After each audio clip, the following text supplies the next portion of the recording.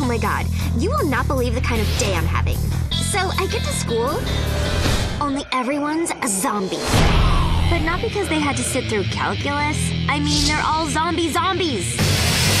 All because of this dude, Swan. It's party time, motherfuckers! He used to be pretty quiet, but now he's all aggro. This school, this world deserves to be destroyed. Feeling like that, I just knocked back a strawberry lollipop. But Swan decided to take over the world. There's nothing more hysterical to me than watching this world burn. But my sucky day is about to get a lot better. Because now we get to the part where I kick his ass.